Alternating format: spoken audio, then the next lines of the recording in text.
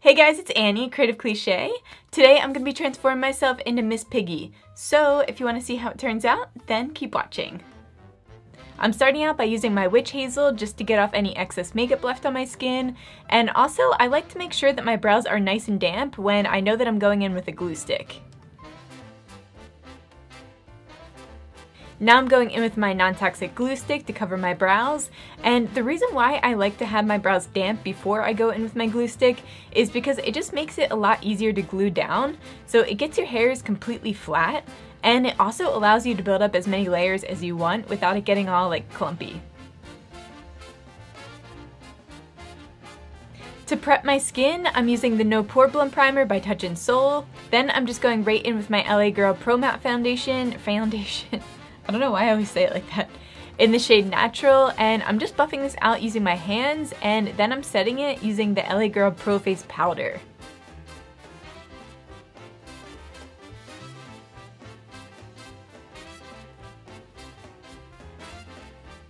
To further conceal my brows, I'm going in with the Death Wheel by Ben Nye, and I'm using that nude shade. This is a cream paint, so you'll get like a really full coverage with this guy.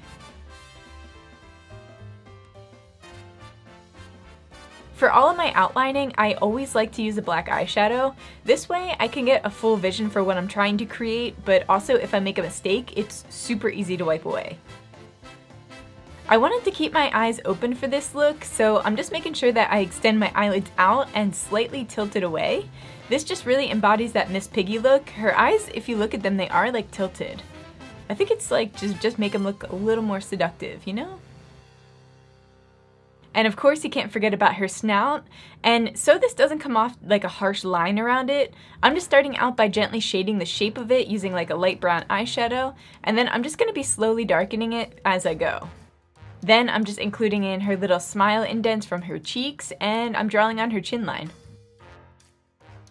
I was definitely starting to drag while doing this look, but luckily I have an emergency candy drawer at all times just to pick me back up only to drop me back down in about an hour, so is it even worth it? and it tasted kind of funny, so I was just checking the expiration date on here and I don't know, it says it's fine. Before I continue with the rest of the details, I just wanted to make sure that I had the eyes completely right before I move on, because honestly, I feel like that's the most important part, like that those are like the distinctive features for uh, Miss Piggy. So I'm going in with the Tag Body Paint in white to fill in the outer bottom of the eyes, for the pupils, I started out using a light blue by Wolfe FX, but it was too light, it was almost blending with the white. So I just topped that off using a dark blue paint from Mehron, this is from the Paradise palette. I always loved Miss Piggy's purple eyeshadow, she just always looked so put together. So for this shade, I'm going in with the shade Single from the James Charles palette, and just like a random eyeshadow brush. So that wasn't giving off the kind of pigment that I was looking for, so I just went in with the light purple shade from the Mehron Paris palette as well. Then I'm just topping back over it with that shade single by the James Charles palette. Heading back to the nose, I'm deepening that shading a little more around her nose, and I'm also adding this lighter concealer. I believe this is in the shade Porcelain. And this is the LA Girl Pro Conceal, and I'm just adding this to the outer edge of the nose to give it the appearance of it popping forward. And then I'm taking the Pro Conceal in a darker shade, I believe this is Almond, and I'm just creating shadows around her face and deepening them using the True Match powder in Nut Brown. To add a little bit of fun to the eye, I'm going in with the Glitterally Obsessed Body Glitter from ColourPop, and this is in the shade Do I Look Like I Care? then I'm adding a little bit of a darker purple eyeshadow just to tone it down a little bit.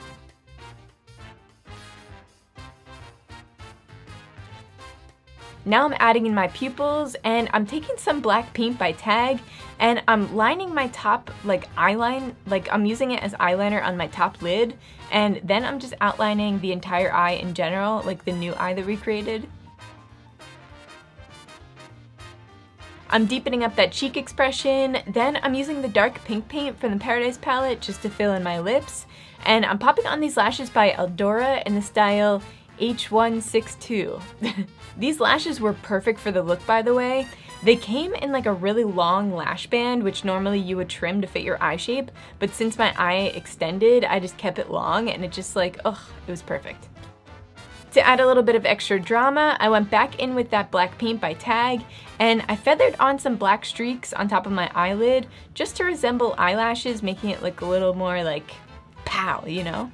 And I chunked up my false lashes using the Wow Wings mascara by Rimmel London.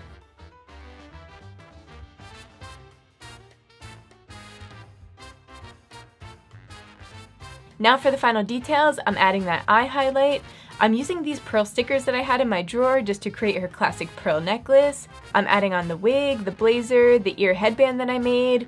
I'm just gonna plug up my nose real fast and I'm also gluing on these paper pieces that I made for her cheeks just to make her cheeks extend a little bit since she has wider cheeks than I do. And I'm gluing these on using some spirit gum and I already painted these using the same paint that I painted my face, like I used foundation on it. But I'm using eyeshadow just to kind of make them blend in a little bit more. And that's the finished look, guys. Let me know what you think in the comments down below. Also, let me know if there are any characters that you guys want me to do next. And yeah, I hope that you liked the video. If you did, make sure to give it a thumbs up. That really helps me out. You can also subscribe to my channel. I do try to post videos Monday, Wednesday, and Friday. I've been a little off schedule, but I've still been trying to make sure to get at least two videos up a week. But yeah, I love you guys, and I'll see you on the next one.